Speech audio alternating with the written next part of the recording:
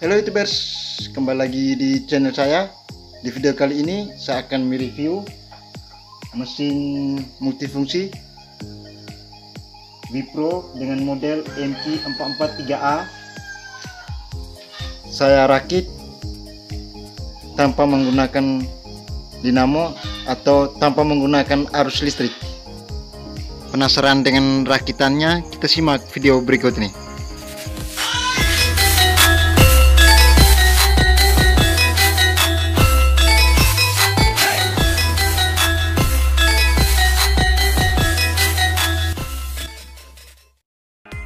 Oke teman-teman, di sini saya akan menjelaskan hasil rakitan sendiri yaitu rakitan pengoperasian mesin multifungsi tanpa arus listrik atau dinamo.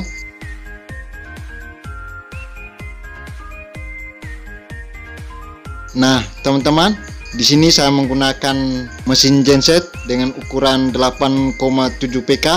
Mesin yang saya gunakan di sini yaitu mesin dengan bermerek Dongfeng Mesin genset ini berfungsi untuk menghidupkan mesin multifungsi dalam pengoperasian kayu. Teman-teman, seperti yang lihat di sini, ini adalah as di mana as ini untuk menghubungkan antara mesin multifungsi dan mesin genset. Dan kemudian ini ada puli dan lahir.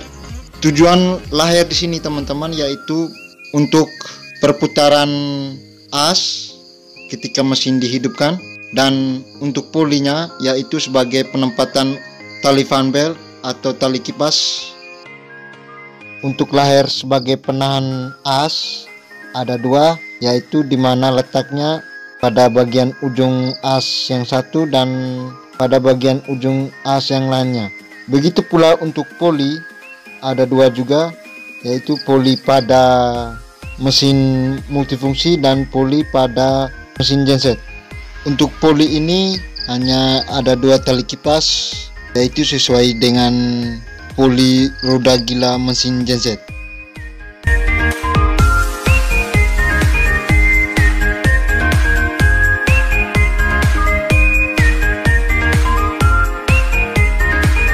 Agar dudukan lahir asnya kuat, di sini saya buat dengan sistem tanam bautnya ditanam pada fondasi dan dicor. Nah, seperti yang teman-teman lihat di sini, tali fambel ini ada tiga dengan fungsinya masing-masing. Untuk dua tali fambel ini yaitu berfungsi untuk menjalankan perputaran mata belah dan yang satunya yaitu untuk menjalankan roda pengantar di mana roda pengantarnya berfungsi.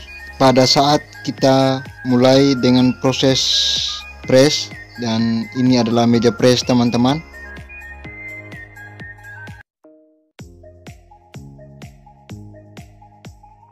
Nah, teman-teman di sini ada dua gear yaitu gear ukuran kecil dan gear ukuran besar. Gear ini berhubungan langsung dengan roda pengantar dan Tujuannya yaitu di saat kita melakukan proses pengoperasian kayu pada tahap press dan pada saat itu kedua gear ini disatukan.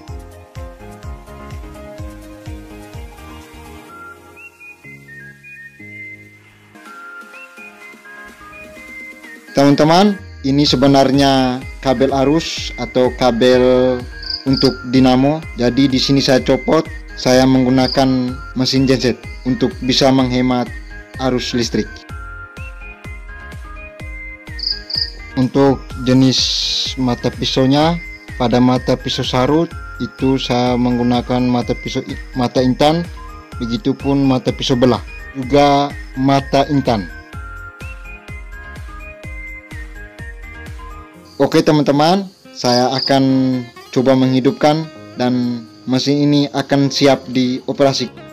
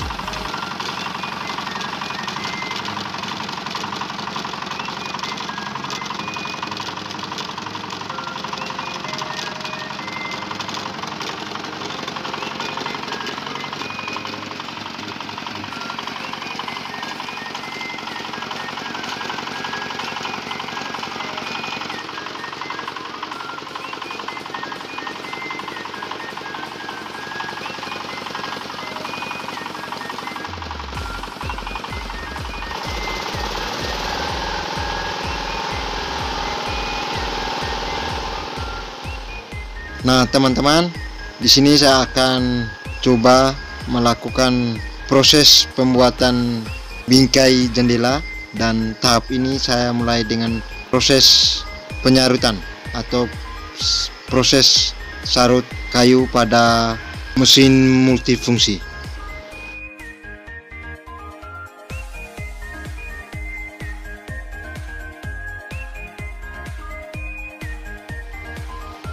Nah, teman-teman, setelah sudah selesai disarut atau sudah selesai proses penyarutan, di sini saya coba dengan proses belah sesuai dengan ukuran yang sudah ditentukan, yaitu di mana sesuai dengan ukuran bingkai jendela dan seperti inilah proses pembelahan menggunakan mesin multifungsi.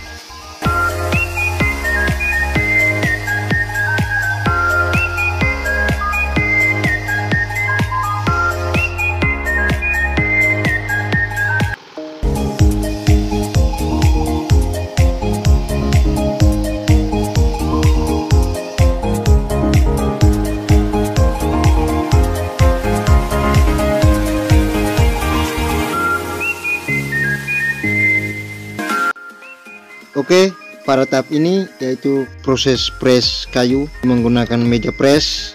Belum memulai prosesnya, seperti yang saya sudah katakan, kedua gear harus disatukan. Proses persamaan kayu ini atau proses press untuk meja pressnya kita pindahkan sesuai dengan ukuran kayu yang sudah kita tentukan dan seperti inilah proses persamaan kayunya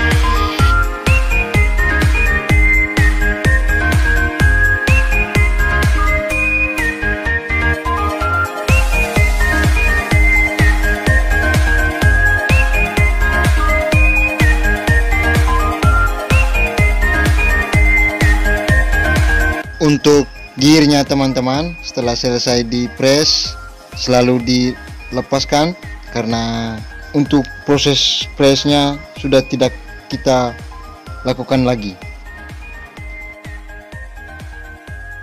Oke teman-teman kita sudah sampai dengan penghujung prosesnya dan ini adalah hasil proses pembuatan bingkai jendela. Sudah selesai menggunakan mesin multifungsi Terima kasih buat teman-teman yang sudah menonton video ini. Semoga bisa bermanfaat bagi kita semua. Sebelumnya saya minta maaf mungkin ada kesalahan penyebutan nama-nama atau istilah-istilah. Saya mohon masukan dan kritiknya. Langsung di kolom komentarnya ya teman-teman. Setelah ditonton, jangan lupa pencet tombol like, share, komen, subscribe, dan nyalakan lonceng notifikasinya ya, agar teman-teman tidak ketinggalan video terbaru dari saya. Sekian dan terima kasih.